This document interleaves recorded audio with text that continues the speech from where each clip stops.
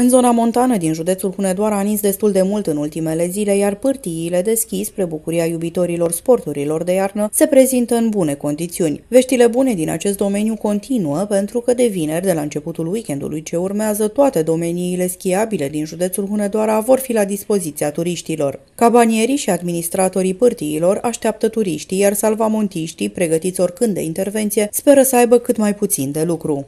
S-au deschis toate pârtile, prima a fost Traja, cu zăpadă multă, bine pregătită. S-a deschis și, se deschide și ușorul de vineri începând acum, în weekendul ăsta. Zăpadă foarte bună, a nins uh, din Belșug undeva la peste 50 de centimetri.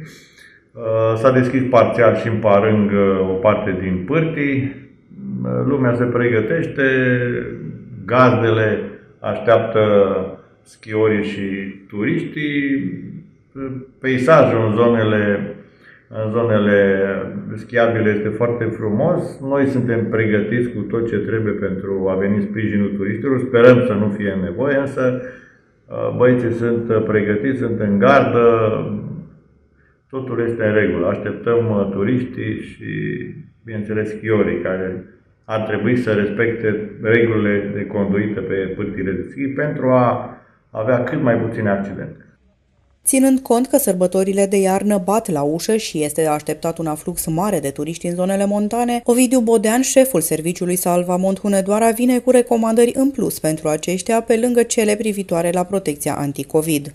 Primele recomandări, în afară de cele necesare evitării pandemiei astea, care nu mai trece, e să să aibă un comportament adecvat pe pârtile deschis, să aibă un pic de antrenament înainte de a intra pe pârtea deschis, un pic de încălzire a mușchilor, un pic de, de mișcare, e foarte bun înainte de a aborda o pârtie. Echipamentul, bineînțeles, de protecție împotriva frigului și a vântului și, bineînțeles, schiurile să fie bine pregătite, bine reglate în funcție de greutate, de stilul de schi pe care îl abordează fiecare.